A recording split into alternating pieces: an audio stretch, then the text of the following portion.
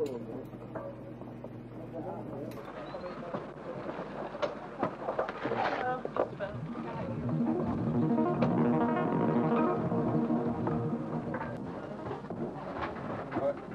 come around the other side.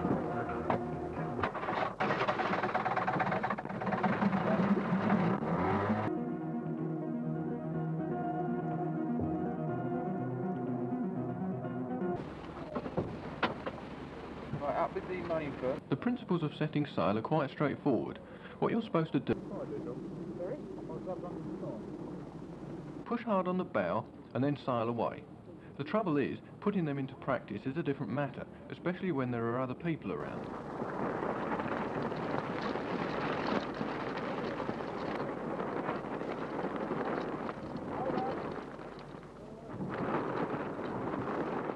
Yeah, what I thought was if, if Bob pulled us along so we started going that way, we'd Yeah. back the jib on that side, that would push us out Yeah. more, let the main fly so that it wasn't doing a thing, and then eventually, with backing all that, we should be Yeah. pointing right direction, pulling the old sheet, and away we go, you know.